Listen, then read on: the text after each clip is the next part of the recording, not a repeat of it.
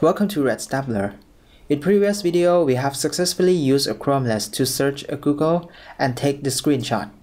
In this video, I'm going to show you how to retrieve all the search result titles and links as a JSON file, which then can be used to process further. So this is the code from previous tutorial.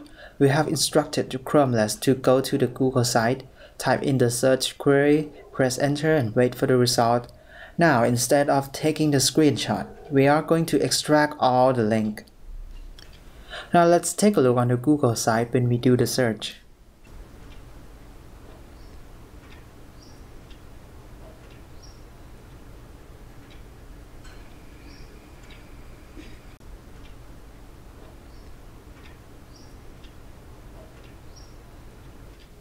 You can see that each of the result will be assigned with G class and the title will be in H3. So we are going to take advantage of that. We are going to use evaluate method which let us run a JavaScript code in the context of DOM. In this case, we need to select all G-class H3 element and its link. We can do that by using document.querySelectorAll we can also use array.map to push each titles and link into the array easily.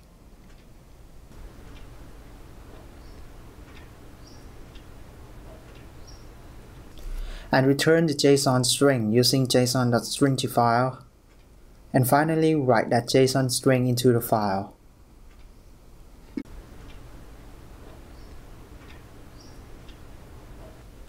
Okay, let's see it in action.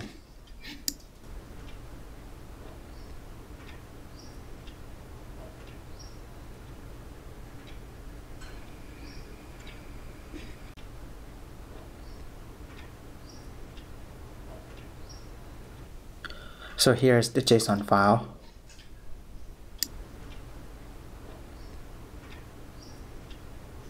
I'm going to use a JSON viewer so you can see the structure.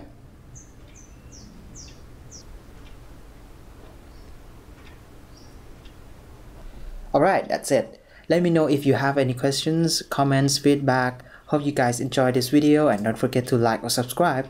Bye.